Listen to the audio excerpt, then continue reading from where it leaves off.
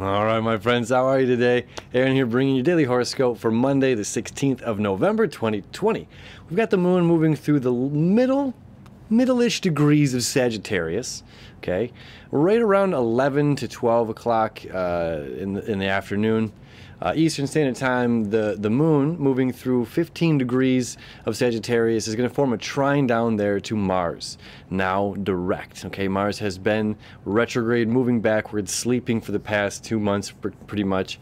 Uh, and now our planet of action and motivation uh, is moving forward okay? Which means we're getting things done. We're getting traction beneath us where it's just like we, we've, we've been in this sink or swim kind of feeling with mars retrograde okay? Now it's just like oh we have forward momentum. We've got a buoy you know? And now uh, us treading water we're actually going toward land we're actually going toward our destination. We're not just floating idle in purgatory or this uh, unknown kind of space that we've a lot of us have been floating in right? So so the moon uh, getting an extra boost to Mars now direct. Okay, so the moon, just like we talked about on Sunday here, that has gone uh, uh, into the sign of Sagittarius is about seeking knowledge, seeking information, seeking wisdom, seeking the guru or the, the, the person that, that has studied this knowledge before me okay so i can rely on them to to expand my own horizon expand my mind expand my beliefs okay so as the moon has an emotional need to seek this stuff out, uh, creating that trine, which is an easy flow of energy, fire sign to fire sign, which is the spark and initiative, Mars and Aries, is saying we have no problem seeking this out today. We have no problems going um, beyond what self is possible. You know, it's like the Sagittarius energy uh, is the centaur, right? It's the half man top with the horse bottom, okay? Meaning our mind, okay, is there. The the knowledge, the the philosopher. This is the you know the philosopher, the the um, the teacher, again the guru, the the the pastor or the shaman, the the, the you know the scholars basically the old wise person you know sagittarius. So it's like we have the, the frontal lobes we have the wise person's mind with the horse body which is saying there's no terrain that's going to stop me. You know there's no river that's going to stop me to where the human body you know is limited. Okay so the horse the horse half of this sagittarius centaur is the uh, i'm not as limited. Okay i'm not flying i'm not free flying i'm not a bird but at the same time you know, I'm able with more weight and, and strength uh, to move into this unknown, to move into this space. Okay.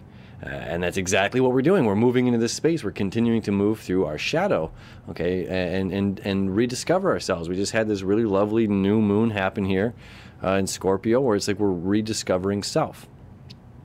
Okay, rediscovering ourselves and who we are and what we're capable of. You know, most importantly, and I think that's one of the cool things about this trine here today is what we're capable of doing. You know, we can. I've got this this little thing that I'm hanging in my room. It's like a little card, and it just says, "Every once in a while, blow your own damn mind." You know, and it's just like a little reminder, like, yeah, do something that you think you're not capable of doing, and surprise yourself. You know, so we have that kind of energy here today that we can kind of surprise ourselves and do something that we were unaware of. All right.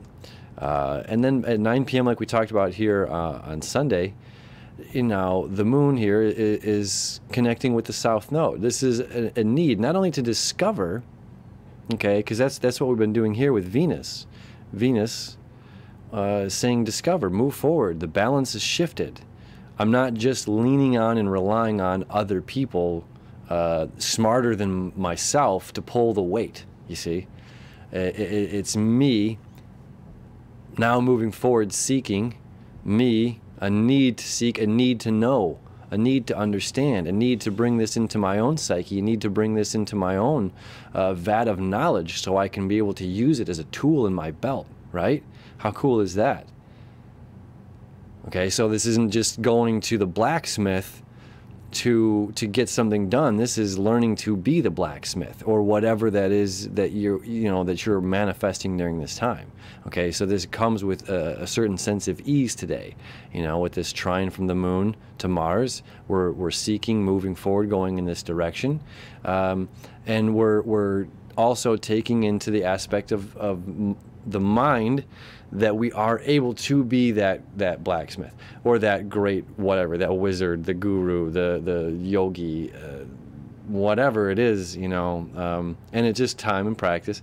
And that's uh, further you know the sextile between the sun and jupiter uh, and saturn okay this is saying you know day by day we you know how do you get to carnegie hall? Practice. That you don't just you don't just become the master overnight you know? And it's it's uh, continuing the shadow work continuing seeing our own reflection okay? Continuing to think deep continuing to be vulnerable and open continuing to want uh, the need the the to understand the value in our own lives how important this is okay? This goes with our daily practices right?